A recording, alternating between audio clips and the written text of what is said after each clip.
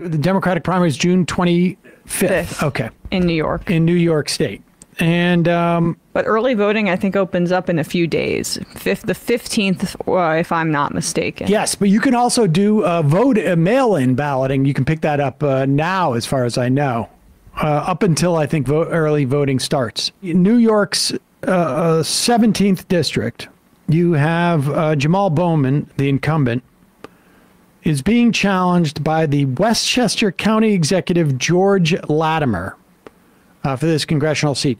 Latimer is on the receiving end, perhaps I think the single biggest dump of money, period, by outside expenditures in a primary, certainly within a Democratic primary. And uh, 90% of which comes via uh, AIPAC affiliated uh, outside expenditure groups, uh, DMFI, and then there's another one actually that they're uh, using. UDP, the United Democracy Project, which Yeah. is sort of the whitewasher because they want it to be less Right. This is like a Clean Skies uh, initiative uh, from the Bush administration type of stuff. Much of it is Republican money being dumped into a Democratic primary. I think The Bowman's- single biggest recipient of Republican money Yep. Trying to make that clear. in the primary. Now, it makes sense because Latimer is on record saying he would not vote to increase taxes on wealthy people. One of the uh, key sort of planks of uh, Joe Biden's uh, reelection campaign. He has said that the reason why Bowman won his pri- uh, his uh, election in the first place was because black people were allowed to vote by mail-in ballots, and also, to be fair, because of George Floyd. Oh, right. The George Floyd effect.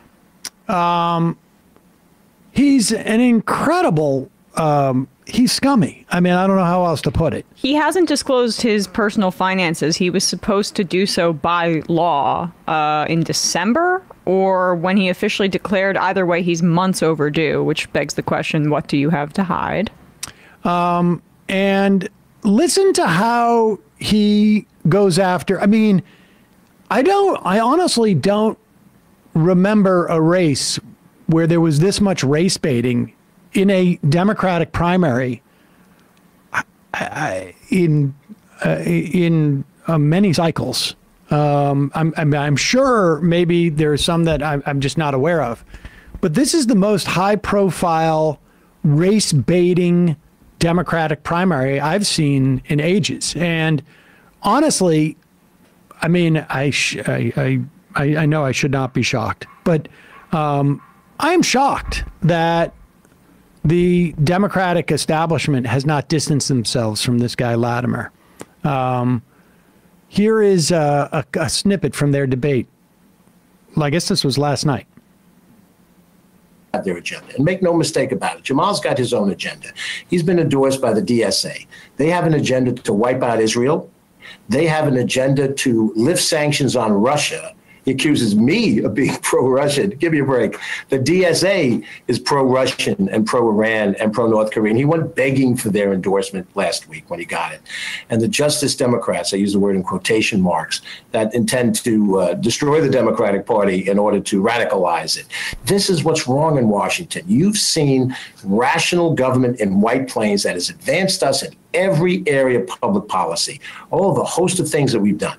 And he was he will tell you that what we've done in White Plains isn't good enough. What we've done is accomplish things. What he's done is give speeches all across the country. And when you get as much money as you get from outside the district, your your constituency is Dearborn, Michigan. All right, pause it for one second before we get into his uh, his race of uh, racism. Um, for George Latimer to even bring up outside money from money from outside of the district Yeah. is, I mean, aside from being one of the most like audacious, sort of like factually speaking, uh, misrepresentations that I can possibly remember. Um, it's uh, it's just incredibly bogus. He is getting all of his money not just from outside of his district, but outside the party. It's Karl Rovian. It is uh, totally uh, Karl Rovian. This is um, the best I could say about him is it's completely old school Republican um, uh, dirty tactics. Well, because because as you mentioned, uh, the money that he's getting is not traceable in the same way that someone like Jamaal Bowman, who is relying on small dollar donations, um, the, in the way that it is, and we know that AIPAC is funneling money into these shadowy groups that are funding campaigns like this. Um, and it seems like they think that Jamaal Bowman is the easiest target for them to take out to say like see we have a win we're able to punish people for being pro-palestinian even if public opinion is moving away from us we are still able to get you somebody out of con- get somebody out of congress and deliver for the right-wing pro-israel lobby and in case you guys didn't you, you missed it dearborn michigan was mentioned there Well, we're just about to listen to it. Okay. Go, go. All right, go ahead. Continue. Is give speeches all across the country. And when you get as much money as you get from outside the district, your your constituency is Dearborn, Michigan. Your constituency is San Francisco, California. It's not Harrison. It's not Tuckahoe. It's not Scarsdale. You're not even there to be part of the events of those communities. So I think. Um, you know what has to happen in the next two years is you send somebody right, to pause it. Like you know, like uh, uh, he is arguing. I mean, he's basically talking about Dearborn, Michigan, because that's uh, where uh, there's a high concentration of of Muslims and Palestinians and Arab Americans. Um, and I guess the San Francisco thing is what is supposed liberals to be.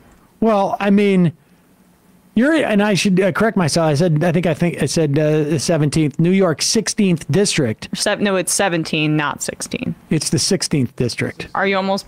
Yes. Oh, it says 16th. Oh, I'm Yes. sorry. It's Ooh. the 16th district, and um, I said 17. And uh, the idea that San Francisco is any more liberal than New York 16th is absurd. yeah. It is. Um, I mean, is he running against Nancy Pelosi? Like, I'm unclear what the what the deal is here. I also he's using the attacks that Bowman used on Eliot Engel that he was never in the district, or that AOC used against Joe Crowley, where it's not. I mean, uh, you can have your criticisms of Jamaal Bowman, um, but I think he's fairly intimately involved in his district. He was a school uh, principal, school teacher, educator before he ran for Congress. I just think that attack falls pretty flat, honestly. Yeah, it's going to be interesting uh, to see what happens in this race. Um, we have links, and we'll put links uh, up to for phone banking for Jamaal Bowman, both from the WFP and um, uh, the DSA. Also, um, links to uh, canvassing if you want to involve get involved in canvassing. I mean, there's no way Jamaal Bowman is going to even come remotely close to being able to compete with Latimer in terms of money. I, I don't know. Uh, why, you know, we haven't seen the the, the latest uh, uh, figures, but I, I, you know, two to one, three to one. Uh, it's going to be extraordinary how much he is outspent. Um, the way that Bowman's going to win this race is if people mobilize by calling into the district, by canvassing in the district, by talking to people you know who live in the district. Um, very important race, both in terms of like Jamaal Bowman being a very good congressperson from a progressive uh, perspective, right? I mean, um, uh, a member of the squad, but also in terms of sending a message that Republican money should not be determining the outcome of Democratic primaries, particularly in New York State. Yeah. I mean, really anywhere. But I mean, this isn't, you know, And this this isn't. South Carolina we're talking about here. Yeah. Yeah. This is a blue district in New York State, and uh, the biggest amount of money is going to be coming from Republican uh, billionaires.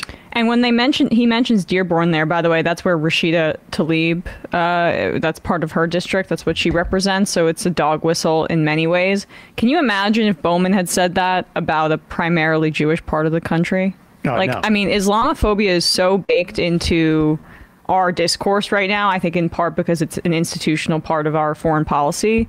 But it, it's just incredible what people can get away with saying, and it's just open bigotry like that. I mean, this honestly should be something that Hakeem Jeffries um, comes out and instead of like sort of uh, being on the sidelines here, he should be coming out and um, you know uh, telling Latimer we don't we don't want that kind of bigotry in our Democratic primaries. Um, I also just say him saying Bowman doesn't show up to things in his district. Um, uh, Latimer put out this ad just a little bit ago, and he cl- green screened himself into uh, into the Bronx. You just Oh my God, bit did, Seriously? yeah. He- This part. I'm George Latimer, and whether you live in Port Chester, Greenburgh, or Co-op City, we're fed up with the chaos that's hanging over our heads. He's not actually- Trump Wow, extremists that's in Washington. amazing. Do you notice that woman is just sitting there and I don't think moves once in the background? So he he posted a photo trying to refute that, saying, "Oh, I did sh- shoot some shots there," but I mean, like, Oh, they definitely they sure sent they- a cr- camera crew down there to get some B-roll. Oh yeah, I'm sure, and maybe he had to correct himself with like a second shoot, but there's no way that's not a green screen, right? Uh, that is um, uh, it seems like explicitly a green screen to me. Yeah. That's pretty impressive.